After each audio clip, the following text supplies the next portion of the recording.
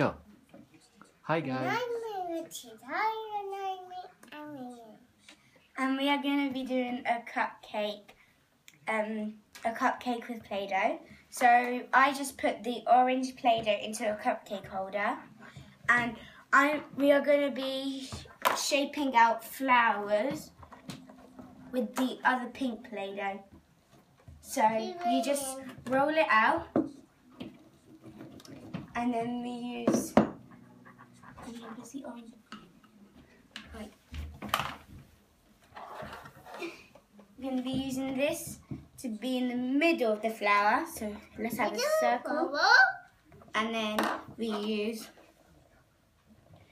one, two, three, four, and maybe one more, five.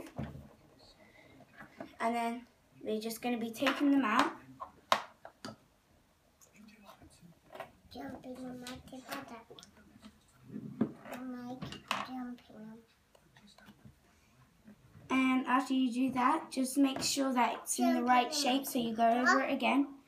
Get all the Play-Doh off. So yeah, just just keep on doing that. jumping on my paddle. So move them to the side. Now you're gonna just be attaching them to the circle.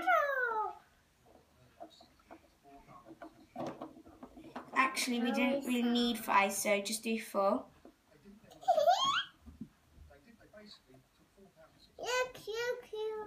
And then-. We're gonna. Ah, I think it's better to do it on the cupcake. One here. One here. Okay, we do need five. Then. Mommy, cheese.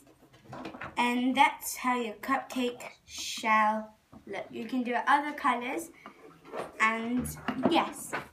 Okay, bye.